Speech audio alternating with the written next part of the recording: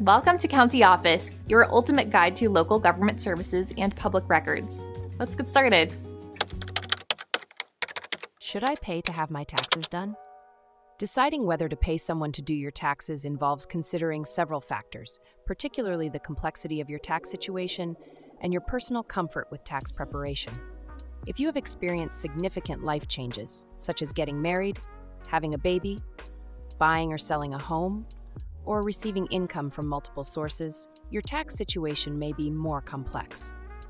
In these cases, hiring a tax professional can be beneficial as they can help navigate new forms, credits, and deductions that arise from these changes. Tax professionals can ensure you maximize your tax benefits, including credits and deductions that you might miss if you prepare your taxes yourself. For example, if you have investment losses or receive income from various sources, a tax pro can help you handle these complexities. The cost of hiring a tax professional varies widely depending on the complexity of your return. On average, Americans who claim the standard deduction may pay around $220 for a simple federal and state return, while those who itemize may pay around $323. More complex returns, such as those involving capital gains or non wage income, can cost significantly more. For those who prefer not to pay for tax preparation, there are free and low cost alternatives available. The IRS offers free filing programs for certain income levels and situations, such as the IRS Free File System and the new IRS Direct File Pilot Program. Additionally, local programs like NYC Free Tax Prep provide free tax preparation services for eligible individuals.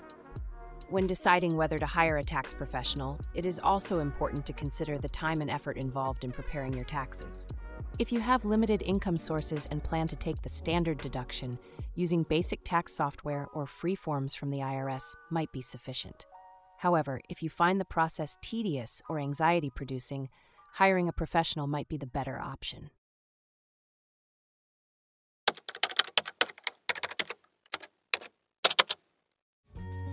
To learn more, check out these links, which you can click in the description below.